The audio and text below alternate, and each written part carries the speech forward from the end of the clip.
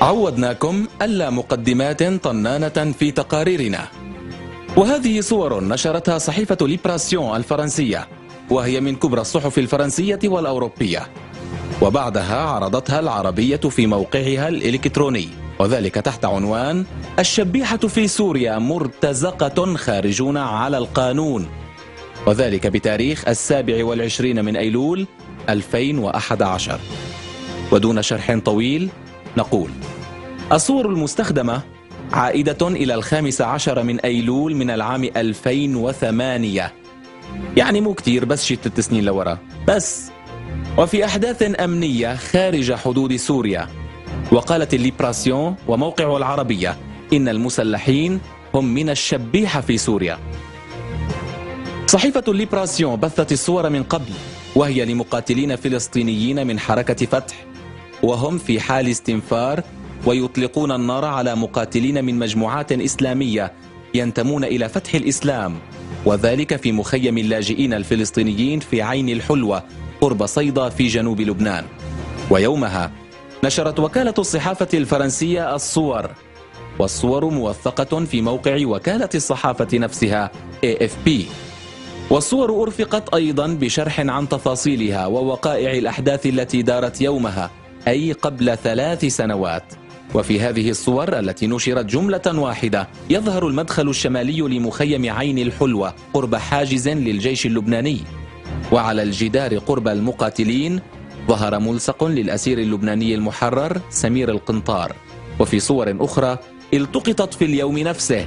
نشرتها وكالة الصحافة الفرنسية وإلى جانب الصورة المستخدمة على أنها للشبيحة ظهر حاجز للجيش اللبناني مع أرزته الكبيرة ونازحون أيضا.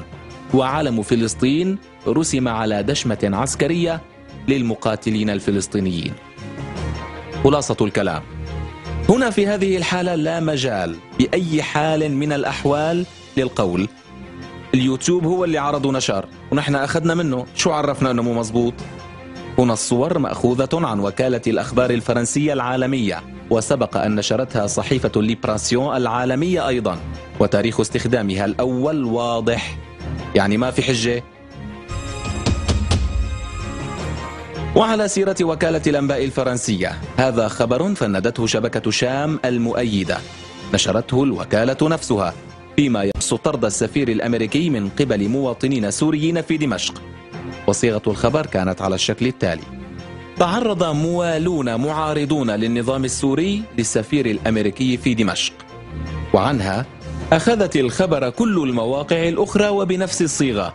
موالون معارضون يعني مشغربون يسارين فوق تحت وراء أمام وعلى هالمقياس قيس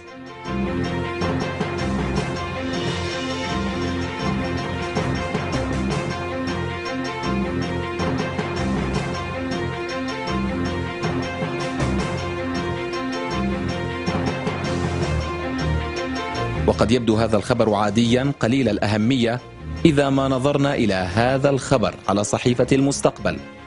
متظاهرون في قاع البحر تحت الماء في حمص يطالبون بكذا وكذا.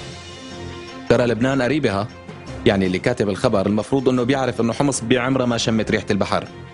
لك شو جاب البحر لحمص. بس هيك بحيجونا نحكي.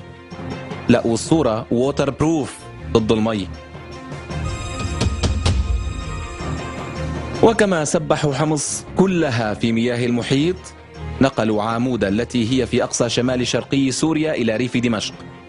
التوزيع الحقيقي على الأرض لا يخدم فيوزعون على مبدأ تشيلي بيلي وكما التوزيع الرتب العسكرية أيضا لا تخدم فصارت قرارات الترفيع العسكرية تصدر عن محطات فضائية. رياض الأسعد الرتب التي أثقلت كاهلة تشير إلى أنه عقيد. ولكنه مرة رفع إلى عميد كما أشرنا بتقرير سابق وهذه المرة رفع إلى لواء.